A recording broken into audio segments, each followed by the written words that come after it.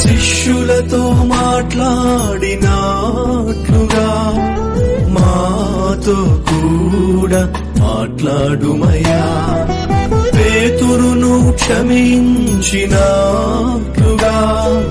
మమ్ము కూడా క్షమించుమయా తోమాను సరిచేసినట్లుగా